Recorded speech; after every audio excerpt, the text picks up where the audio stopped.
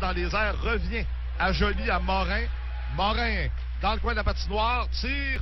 Et le but qui est marqué par Yann Kostalek. Ben, Montembeau, là, euh, Martin, on a parlé d'éliminer Tremblay, mais Montembeau, wow! Pas très fort là-dessus, hein? Quelle horreur!